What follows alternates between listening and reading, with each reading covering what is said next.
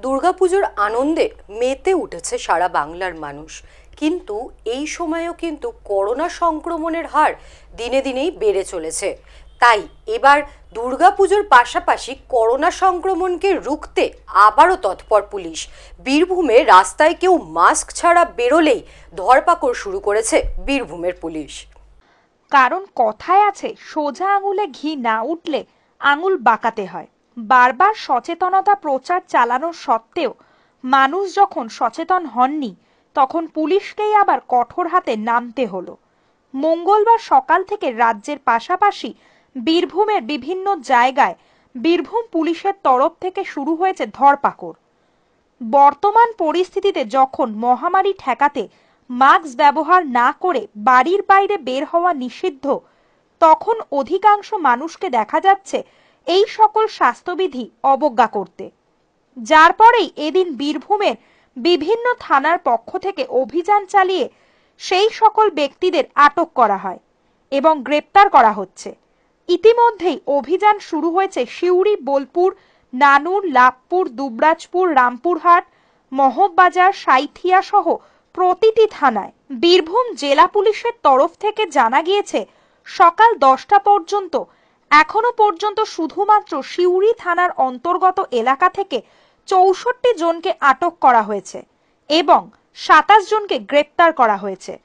পুলিশের তরফ থেকে এটাও জানানো হয়েছে যে এই অভিযান লাগাতার চলবে।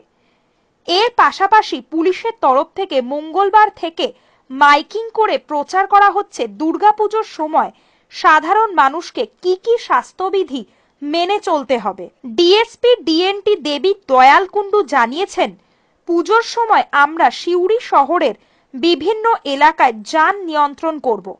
টোটো চলাচল সম্পূর্ণ নিষিদ্ধ থাকবে। জরুরি যানবাহন ছাড়া প্রবেশ করতে দেয়া হবে না। এমনকি পরিস্থিতির উপর বিচার করে মোটর বাইক চলাচলও নিয়ন্ত্রণ করা হতে পারে। আর মাস্ক এবং সামাজিক দূরত্ববিধি মেনে চলার জন্য স্পেশাল ড্রাইভ চলতে থাকবে। প্রসঙ্গত, গতকাল, অর্থাৎ সোমবার একটি জনস্বার্থ মামলায় কলকাতা হাইকোর্টের তরফ থেকে বর্তমান করোনা পরিস্থিতির ওপর বিচার করে একাধিক বিধিনিষেধ সম্পর্কে নির্দেশিকা জারি করা হয়েছে। আর এই নির্দেশিকাগুলি কঠোরভাবে প্রয়োগ করার নির্দেশ দেওয়া হয়েছে রাজ্য সরকারকে। এরপরেই মঙ্গলবার সকাল থেকে পুলিশি তৎপরতা লক্ষ্য করা গেল। বীরভূম জেলা পুলিশের পক্ষ থেকে সমস্ত থানাতেই মাস্ক স্পেশাল ড্রাইভের মাস্ক যারা পড়ছে না, তাদের এগেনস্টে প্রয়োজনীয় পদক্ষেপমূলক কর্মসূচি নেওয়া হয়েছে। তারই ইয়েতে আজকে সিউড়ি থানার বিভিন্ন যে এলাকাগুলো আছে, বাস স্ট্যান্ড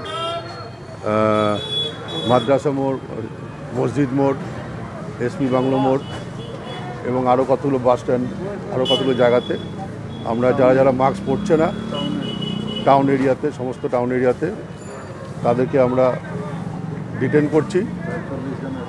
প্রায় সাতাশ মতো অ্যারেস্ট হয়েছে এবং চৌষট্টির মতো ডিটেন করা হয়েছে। এবং কিছু কিছু পুয়োর যারা লোক আছে, যাদের মাস্ক কেনার ক্ষমতা নেই, তাদেরকে আমরা মাস্কও ডিস্ট্রিবিউট করছি।